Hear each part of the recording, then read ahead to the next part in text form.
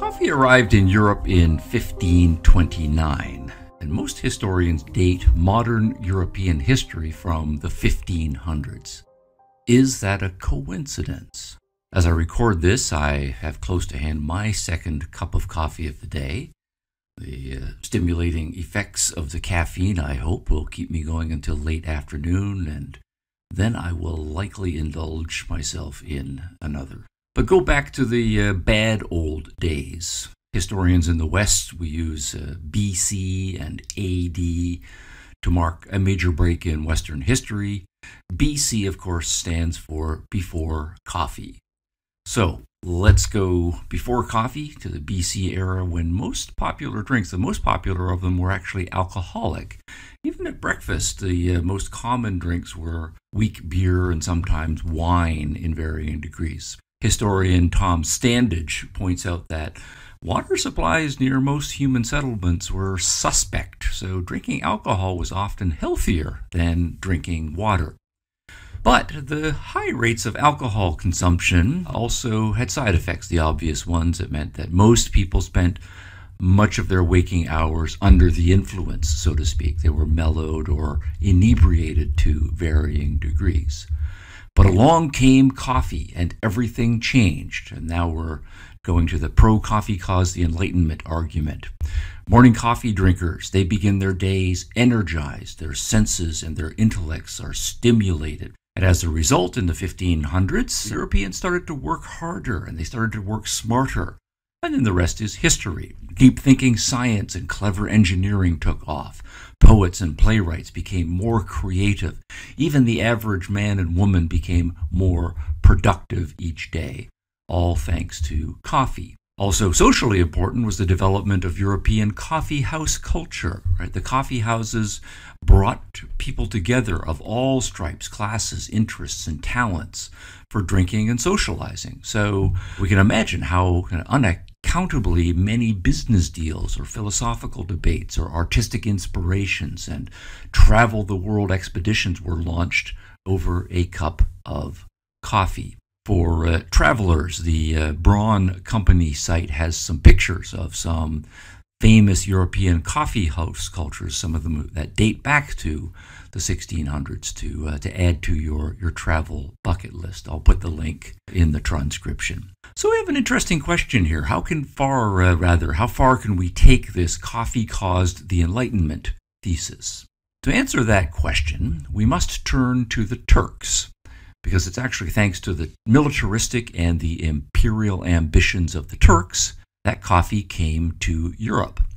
Under Suleiman the Magnificent, the uh, Ottoman Empire was expanding westward into Europe until it was halted at Vienna in 1529. Little sidebar I have a suspicion that His Magnificence Suleiman was so named for his truly magnificent headgear, as many online images will attest. However, headgear aside, the Turkish army was re- repulsed at Vienna, and when they retreated in rather a hurry, they left behind many bags containing coffee beans. Enter the next hero of our story, Franz Georg Kolschitsky, a Pole who had actually lived in Turkey for some time, uh, but uh, now distinguished himself in the fight against Suleiman's forces. Kolschitsky recognized the coffee beans that had been left behind by the retreating Ottoman forces. He claimed them as war booty. And then uh, after the war, he launched himself as an entrepreneur in Vienna by opening its very first coffee house. The brew he came up with sometimes was mixed with sugar, sometimes mixed with milk or both. It was very popular with the Viennese, and coffee and coffee houses then spread rapidly across Europe. So let us salute both Suleiman of the magnificent headwear and Herr Kolschitsky of the entrepreneurial alertness. Unintentionally in Suleiman's case and intentionally in Kolschitsky's case, those of us who worship at the altar of the bean know to whom we should direct our reverent thanks. But that history as background, exactly how much of the benefits of modern civilization and the achievements of the Enlightenment flowed from the introduction of coffee? There certainly is a time overlap, coffee arriving in the 1500s, the Enlightenment flowering by the time we get to the late 1600s and on into the 1700s.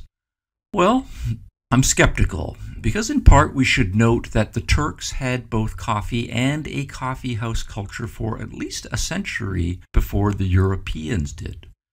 But it wasn't the Turks that went on to develop the powerful ideas and institutions that shaped modern civilization and culminated in the Enlightenment of the 1700s. So, coffee cannot be the only factor at work here Of course, we can rejoin that about the same time that the Europeans were developing their coffee culture, especially on into the 1600s, in the Ottoman Empire, centering in Istanbul, the public consumption of coffee was banned for a host of religious and claimed public health reasons. So maybe it's bad politics that overrode the widespreadness of coffee, thereby short circuiting developments that might have led to modernization and enlightenment happening in the Ottoman Empire.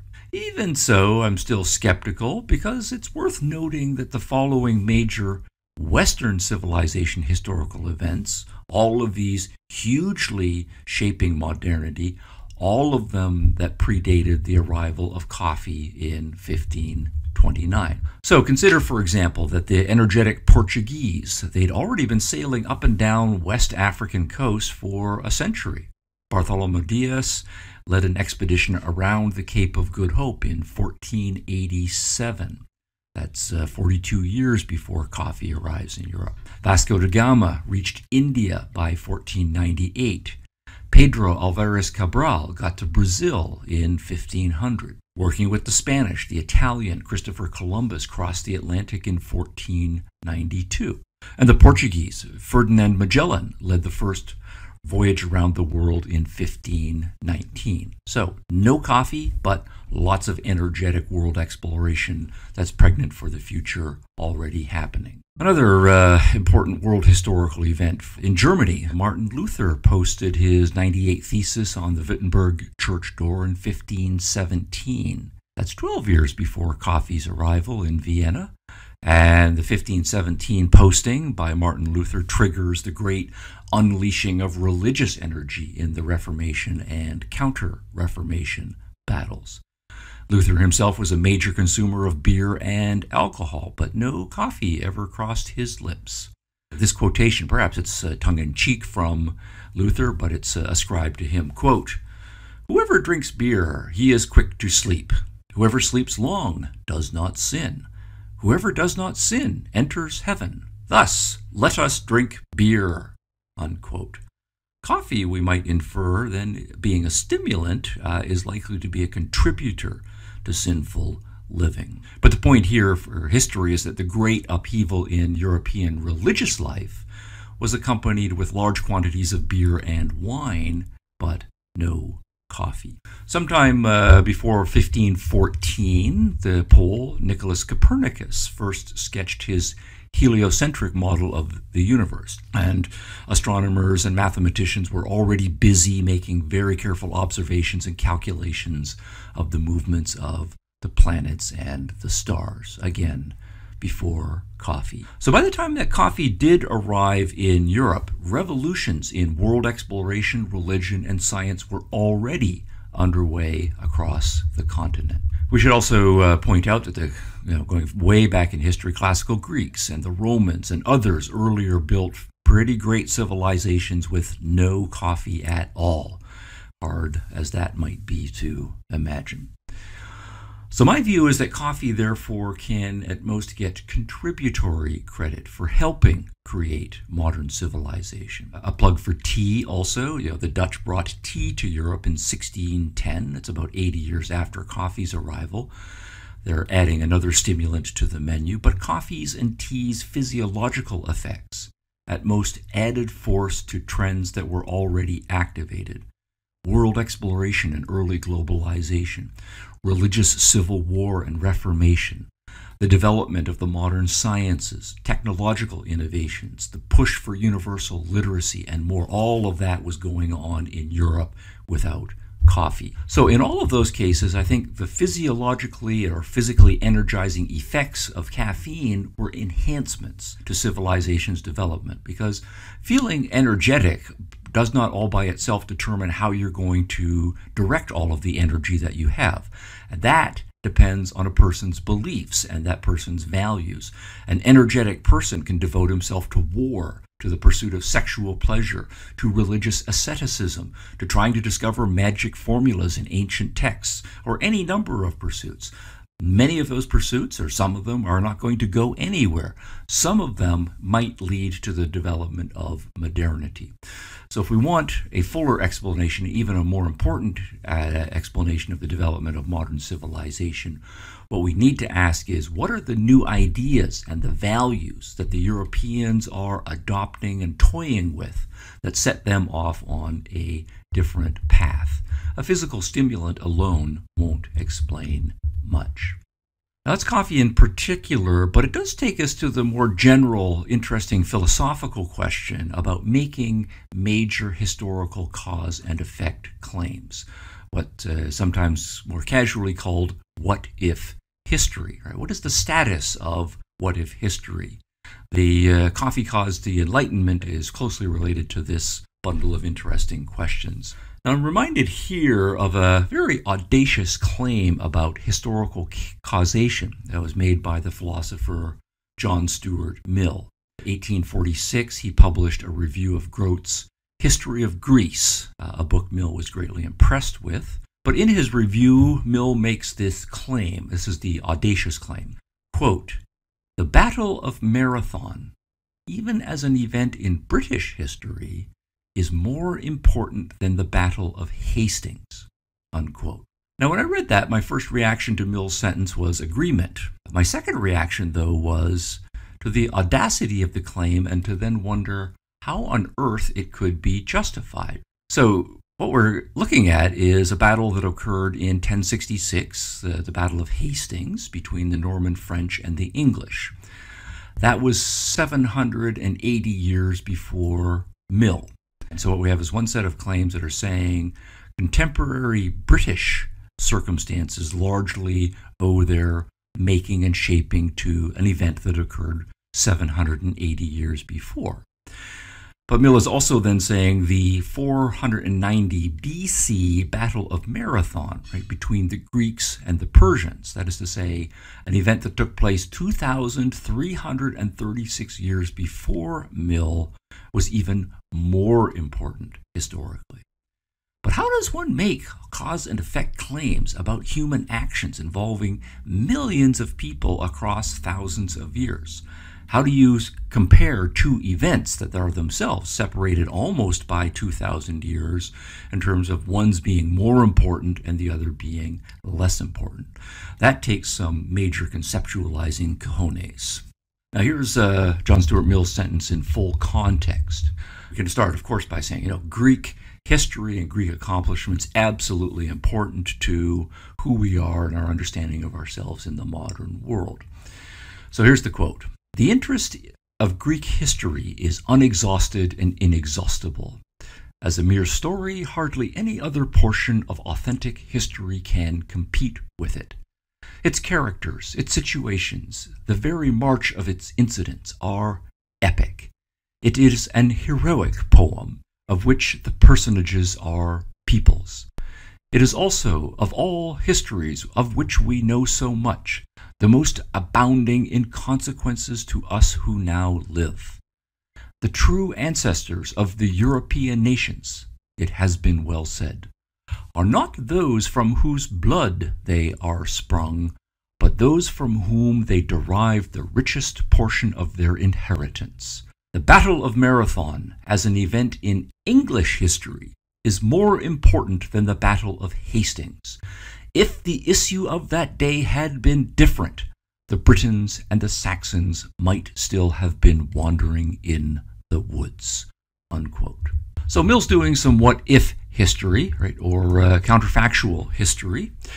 We know we are what we are today significantly because of the Greek victory at Marathon over 2,300 years ago. But where would we be if the Persians had won on that day? Now, there are two separate propositions that are being asserted here, so let's uh, separate the two. Here's the first one, the first pairing. The Greeks defeated the Persians at Marathon.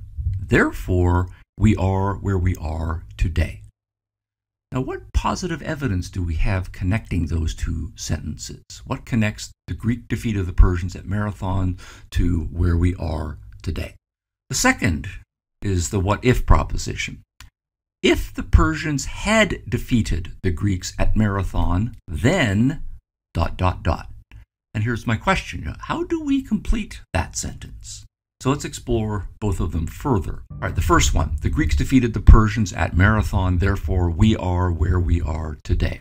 So we could say something like the following The Greeks defeating the Persians, that made it possible for Greek culture to be transmitted across the generations. We're not saying that, that it was a deterministic process. You know, each generation's decisions makers, to varying degrees, they have to accept and propagate its distinctive Greek inheritance of you know, independent, naturalistic thinking. But to the extent that each generation did that, it developed a culture of rationality, creativity, innovation, science, artistry, and so on. Now, as historians, we can see the positive evidence for those connections as they played out across time. We can see the Western European decision makers by contrast of the 300 to 1000 time period. We can see them largely rejecting the Greek philosophy and declining into the Dark Ages. But further east, we can see the evidence that Byzantium continued to flourish, keeping alive the Greek texts and the Greek ideas. Then we can see in the 1100s to the 1400s the decision makers rediscovering and rejuvenating the Greek ideals and the Renaissance ensuing and so forth. So, in that case, there is positive evidence that we can adduce for the ongoing necessity of the propagation of the Greek inheritance. But now let's go to the second proposition. Go back to the Battle of Marathon and suppose it had gone the other way. If the Persians had defeated the Greeks at Marathon, then dot dot dot. Well, what would have happened? And what would count as evidence here? Because we can imagine counterfactually lots of things that, that could have happened if the Greeks uh, if the Greeks had lost and the Persians had won. We can imagine victorious Persians stamping out Greek culture. Or we can imagine dispirited Greeks, oh, we lost, and letting themselves slide into insignificance. Both of those have happened lots of times in historical circumstances that we know of. But we can also imagine a more relaxed conquering Persian regime. Yeah, we defeated the Greeks, but we're content with tribute, and we're not going to stamp you out. Right, we can also imagine tenacious Greeks keeping the flame alive. We lost, but they want revenge. They want to get their act together, and they rebel successfully a few years later. So, if the Persians had won at Marathon and defeated the Greeks, which of those four imagined possibilities would have happened? Imagination aside, we can think analogically to uh, his, real historical cases. We do know from the 300s to the 500 CE, the victory of early Christianity toward the tail end of the Roman Empire, that did lead to the suppression and near extermination of Greek culture. But previously, a couple of centuries, from uh, 197 to 30 before Christ, the Romans systematically defeated the Greeks. Yet the Greek inheritance survived, becoming not only part of Roman culture, but for many generations the dominant philosophy of the Romans. I really like here the saying that the Romans defeated the Greeks, but the Greeks conquered the Romans. So a Persian victory would have led to which result? I don't know. And not knowing that, can we say, as strongly as John Stuart Mill said, how important that mill was to where we are 2,500 years later. Now, to come back to coffee, coffee arrived on the scene in Western Europe only 500 years ago. That's only like 20% of the time. But we still have the same hard what if questions for the coffee caused the enlightenment thesis. If coffee had not arrived in Europe in 1529, well, where would Europe be now? But to uh, draw things to a close on a lighter note, uh, bringing things up to contemporary times, First, a warning. If the zombie apocalypse should arrive or some other terrible event, do not go to Switzerland if you are a coffee lover. As the government of Switzerland has decided that coffee is not vital for human survival, and so has ended its long standing practice of stockpiling coffee beans in case of national emergencies. Switzerland thus enters the debate on the coffee not essential side. But just imagine the end of civilization and no coffee, a double insult. Second, it's also charming to reflect on early strong opposition to coffee in the 1600s, as uh, not everyone in the West welcomed coffee's arrival or saw it as a boon to civilization. So, in the interest of fairness, we should at least hear out the dissenting side. The most dis- vigorous dissenters, it turns out, were women. I quote from a 1674 document the Women's Petition Against Coffee. Quote, Coffee leads men to trifle away their time, scald their chops, and spend their money, all for a little base, black, thick, nasty, bitter, stinking, nauseous puddle water. Unquote. And even worse, a little later in the document. The excessive use of that newfangled, abominable, heathenish liquor called coffee which riffling nature of her choicest treasures, and drying up the radical moisture, has so eunuch our husbands, and crippled our more kind gallants, that they are become as impotent as age, and as unfruitful as those deserts whence that unhappy berry is said to be brought. Yikes, especially that part about impotence and drying up the radical moisture. Reminds me that during the days of alcohol prohibition, some women activists for the cause had a slogan meant to encourage their men to say sober, quote, Lips that touch liquor shall never touch mine, unquote. Adapting that to the anti-caffeine cause, quote, Lips that touch coffee shall never touch mine. Heaven forbid. To that, I retort with update to date reports that heart health is not affected by even 25 cups of coffee a day. Of course, the ladies might respond and their allies. Too much coffee and caffeine can trigger anxiety and other negatives. The scientific debate continues. So, dear ladies, let's plan to discuss these very serious matters further. At the cafe, of course. I'll buy.